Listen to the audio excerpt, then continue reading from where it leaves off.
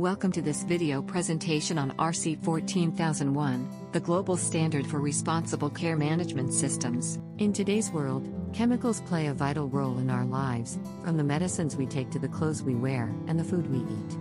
But we also know that chemicals can be hazardous to human health and the environment if not handled properly.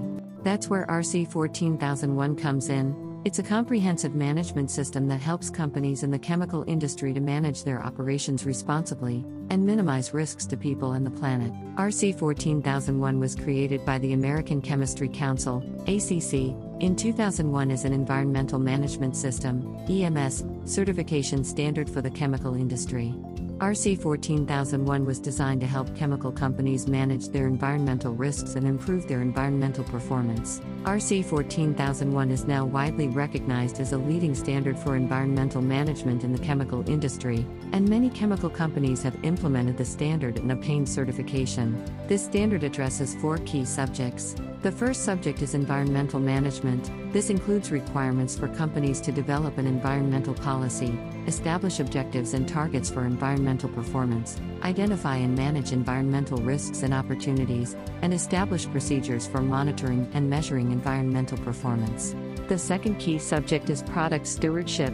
This includes requirements for companies to manage the environmental impacts of their products throughout their life cycle, from raw material extraction to disposal. This involves identifying potential hazards and risks associated with the products and taking steps to minimize their impact on the environment.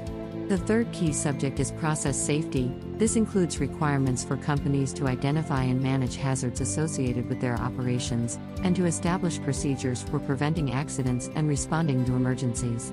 This involves identifying potential hazards and risks associated with the processes and operations, and taking steps to minimize their impact on the environment and surrounding communities. Fourth and the last key subject is security. This includes requirements related to security, particularly in the areas of facility security and product security. This involves identifying and managing security risks associated with the company's operations and products, and establishing procedures for preventing and responding to security incidents. By addressing security as well as environmental management, RC 14001 helps companies to ensure that their operations are safe and secure for their employees, customers, and surrounding communities.